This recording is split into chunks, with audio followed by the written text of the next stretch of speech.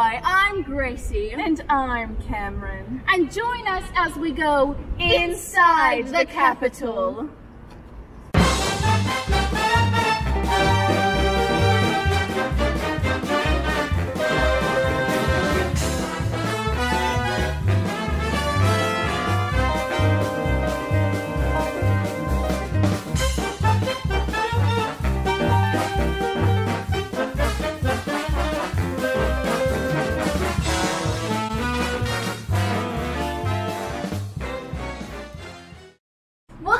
episode one of Inside the Capitol. Let's go inside the lobby and talk to Catherine Nailing. Hey, Catherine. Hey, how are y'all today? Good. Thanks for joining us and coming in the lobby. I wanted to show you this is the original ticket machine from when the Capitol was an actual theater. And being the age that I am, I remember coming to movies at the Capitol. Um, this is the ticket from 1946, and it was a dollar fifty. Now, a dollar fifty for a ticket in 1946 means that this must have been a very special movie because tickets were usually much less than that. We also have some of the advertisement that was used for the Capitol in 1935, and it shows the different films that were showing during that week of March. Um, a lot of people don't realize this, but because there was no television, there were um, news segments between the movies. And particularly during World War II, it was a way for people in Union City to learn about what was going on in Europe and Asia and Africa and everywhere that um, young men who were from this area were serving during World War II. So, Catherine, why don't you tell us some about these plaques up here? Oh, sure. These are some plaques to um, recognize people that gave monetary donations and people that just put their time and efforts into making the Masquerade Theater what it is today. This was a movie place, and so in 1991 it actually closed down. And so people from individuals from Union City, along with different grants, worked and decided to make it a place for play production. And so in about 1996, all the deals were done, and they started to begin to work um, on getting it re- renovated and looking the way that it does now, or for the majority the way it looks now. Um, we recognize Miss Gail Latimer, um, Mr. and Miss Glover, also um, up here at the top, Miss Kathleen Elam. They were some of the, the people who were in the dress circle, which was one of the major um, do- individual donors.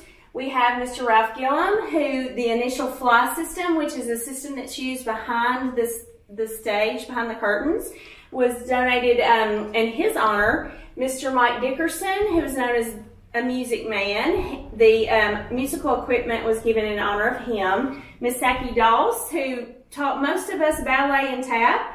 The curtain system was donated in honor of her. And then Mr. Marion Rydell, who was the band director in Union City for many, many years. All the information, the, the equipment, and all the things that are underneath the stage, which is called the pit, was the orchestra pit. So all of that was um, given in honor of him. Now, this is a listing of the original board members who got all these projects and grants and worked so hard to get this going. And you'll notice that um, one of the ladies that is on here, Miss Melanie Taylor Hollis, is still very active in the theater today, and she happens to be on the board still today. Actually, she's here in the lobby with us today. With Miss Allison Butner. Hi, girls. Hey. So, Melanie, can you tell us a little bit about the history of the theater? Well, the building itself, the Capitol Theater as we know it, was erected in 1927, and the first show charged 25 cents a ticket, and kids got in for 10 cents. Uh, through the years, this uh, building has been different things. It's been a true theater. It was turned into a movie theater. Then it was split and turned into a double movie theater. And that's when uh, it was abandoned and Masquerade Theater came in and bought it 19, 1994. 1994. And uh, a couple of years later, we started the, renova- the renovations, and that included lobby, the house, and the front of the building. Uh, a lot of uh, things were torn out and gotten rid of. The stage itself was redone. Um, a lot of money and, and time and effort went into that revamping of this space. One of the, the coolest things I think about the Capitol Theater is the front sign. And when Masquerade Theater bought it, uh, a local sign company completely donated their time and resources and repainted it. And then we added the neon back to it. So it's really cool at night when you're driving down First Street and to see those neon lights. Makes me think back to the old days.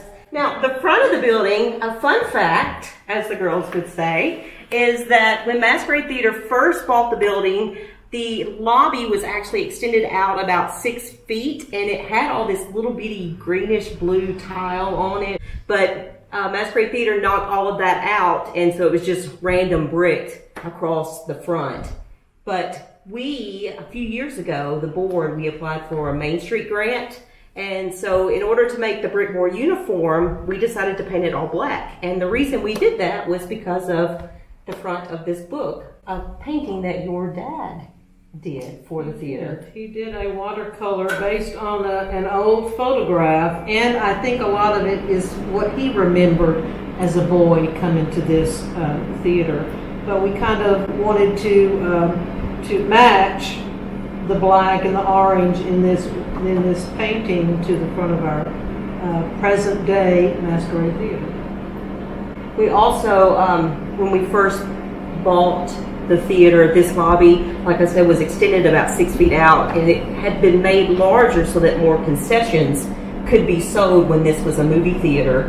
But um, it just had some damage to it, so they figured they'd just go ahead and shorten it to what it was originally. And they came in and if you're in here, I would take some time and look at all the pictures that we have. You might recognize some people, you might not, but um, we're, we're trying to let people see a lot of previous shows with the pictures and just to kind of relive the memories, I guess. Thank you for watching episode one of Inside the Capitol. Join us for episode two as we go inside the house.